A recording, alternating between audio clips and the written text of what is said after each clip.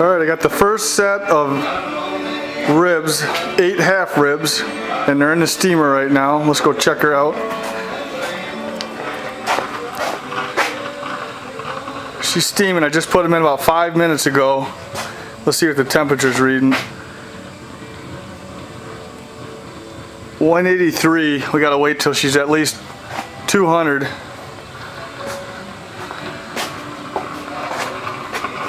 Take a peek. We got eight half ribs in there, all numbered. Ow, ready to go.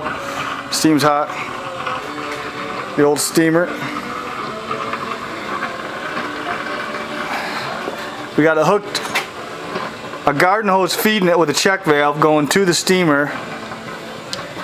It's gravity fed through this Duro tub here. The check valve's in there so we don't heat up the water in the Duro tub. It was happening at first. But I'm running it just through a garden hose. There's a garden hose with a little valve on it. And I got a sled here collecting the water that's coming down from the steamer. The steamer's on a on a slight angle to let the water drain down. I just have a towel as a door. That's all that's needed. 180, you can't see it, but it's 186 right now. So we have to wait a little bit, and then once that starts, once it gets over 200, I'll start the timer about 45 minutes because the ribs are about three quarters of an inch thick. So you can check back on me when I got when the ribs are all ready, and I'll show you how to steam them or how to put them into the forms anyway.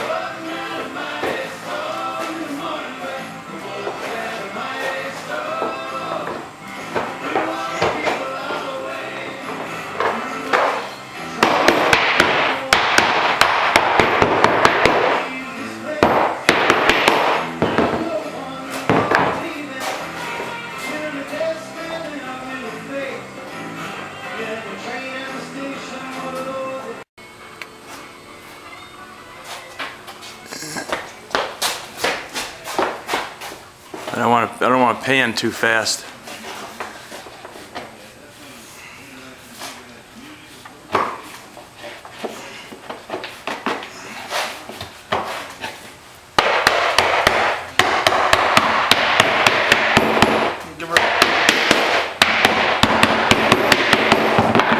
Okay, there's one.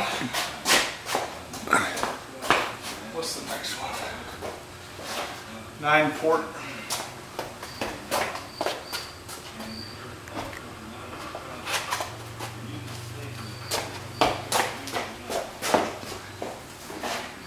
And I hate to say it, but I don't think I've ever seen you move so fast. See your bend in there?